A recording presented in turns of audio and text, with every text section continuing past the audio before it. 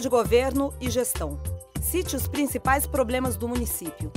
Pretende tornar públicas e transparentes as contas e ações do seu governo? Como?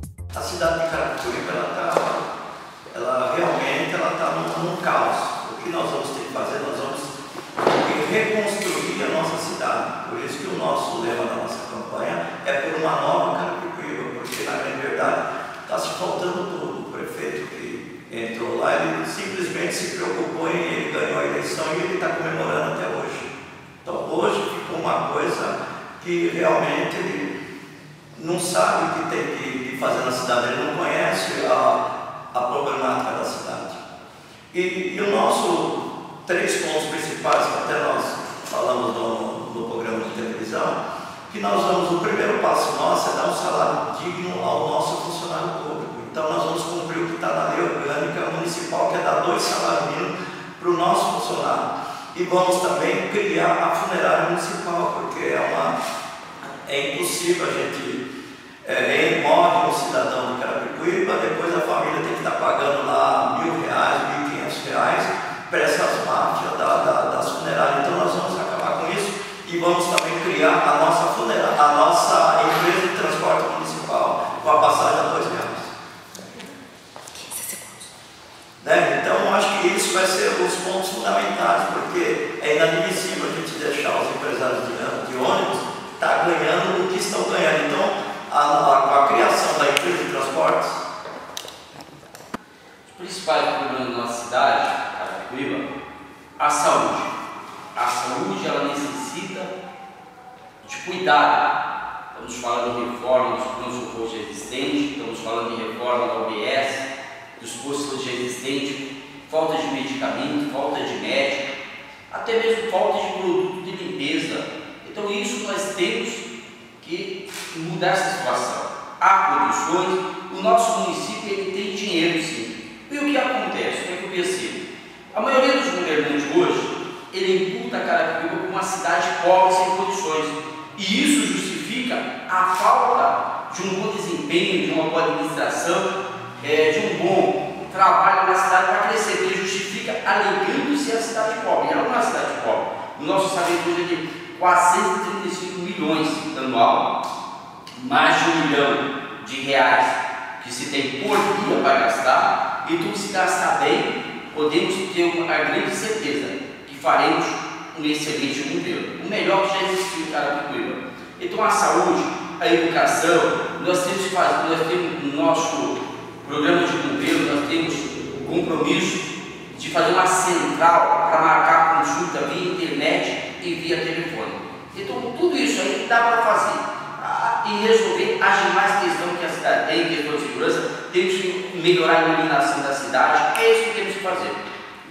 Olha, nós temos hoje três pontos importantes lá que tem que ser resolvidos em Carapicuíba. Primeiro, a questão da saúde. A saúde hoje você tem uma deficiência enorme é, questão do atendimento das pessoas, falta medicamento, falta remédio. Nós temos uma solução que é a questão de ampliar o horário de atendimento dos pós-saúde até as 21 horas, hoje funciona até as 17.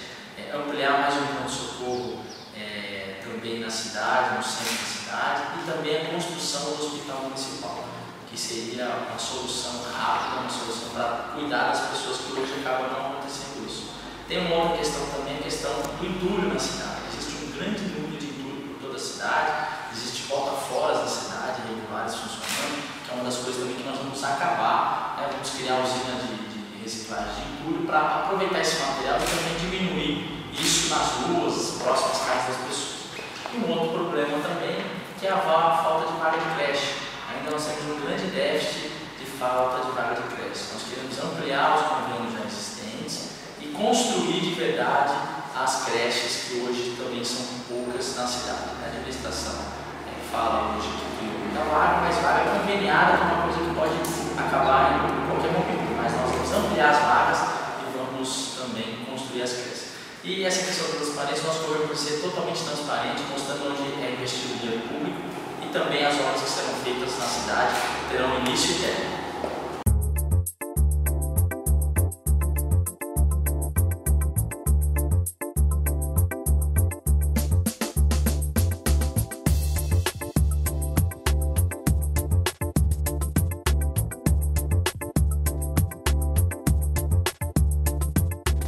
Expansão imobiliária. A infraestrutura do município não acompanhou o crescimento desordenado dos últimos cinco anos. Como resolver a questão?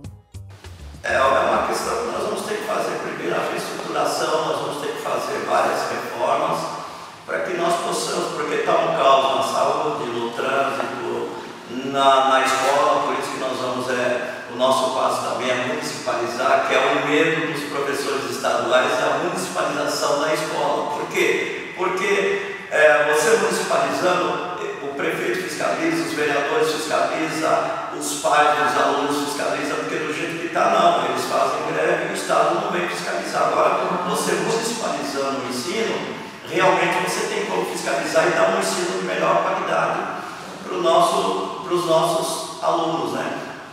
E, e a parte também, nós vamos acabar também porque o prefeito criou um mecanismo de, de pagar um real para cada marronzinho para a multa. Então, na grande verdade, eles faziam lá 30, 40 multas por dia e andavam multando a doidado e nós vamos acabar com isso. Nós vamos sim disciplinar e, e realmente é, coordenar e dar uma. O, nosso cidadão vai ter que ser disciplinado a respeito do, do, das multas.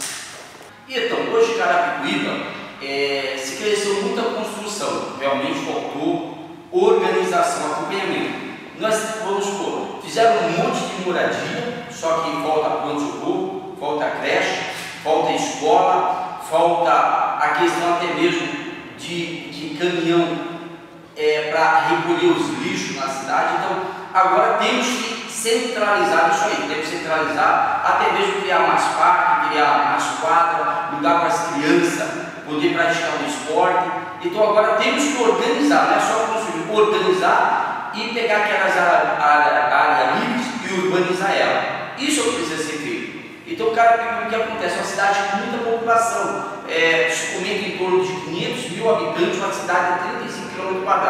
Osasco tem 66, Barueri tem em torno de 66 também km. Nós somos a metade e, e, quase duas vezes a mais a quantidade de população que ali está. Então, é, é um trabalho sério. Essa também a questão, né, a questão é, na área até mesmo questão de esgoto, tem esgoto a céu aberto. Nós temos também tomar, trabalhar isso aí, trabalhar na área da saúde, trabalhar na área do desenvolvimento, trabalhar na área da moradia, tudo isso aí nós temos que é, realmente colocar em prática um verdadeiro plano de governo. Olha, a questão é estruturar a prefeitura, né? Secretaria de Desenvolvimento Urbano, antigo planejamento urbano, é, nós temos que ter lá funcionários bons, funcionários que realmente gostam do que faz e ampliar o número de funcionários para que a gente possa ter uma fiscalização. Existe hoje é, muita invasão de área, áreas que foram invadidas e acabam se não, não se tendo retorno sobre isso.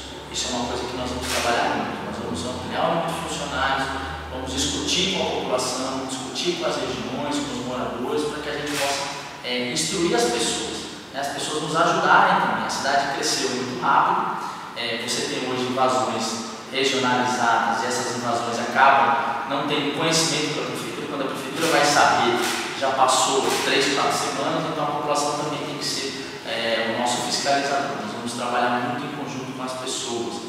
A gente tem um problema também hoje no, no crescimento que tem hoje desordenado também nesta região da Granja, que é uma coisa que também a exploração imobiliária está sendo muito rápida, que também tem que ser muito discutida e discutida com as empresas também. A gente tem que, primeiro, vamos trazer essa expansão, mas e a, a estrutura para que isso aconteça? Nós não temos hoje estrutura viária é, para atender a demanda que